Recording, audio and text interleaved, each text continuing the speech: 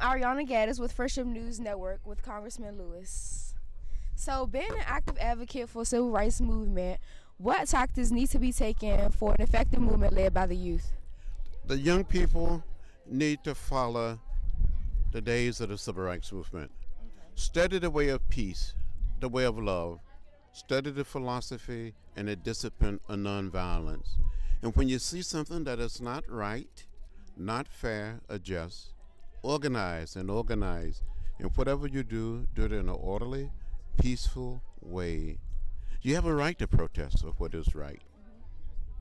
Okay, and what advice would you give to the youth in the Black Lives Matter movement to gain uh to gain like more I guess what would you say publicity from Congress? Well, I think it's important for young people involved in the Black Lives Matter movement to study the youth movement of the civil rights movement.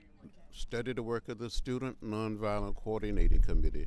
Read the literature. Watch the videos. Thank you for your time and Ireana reporting from Friendship Armstrong Academy.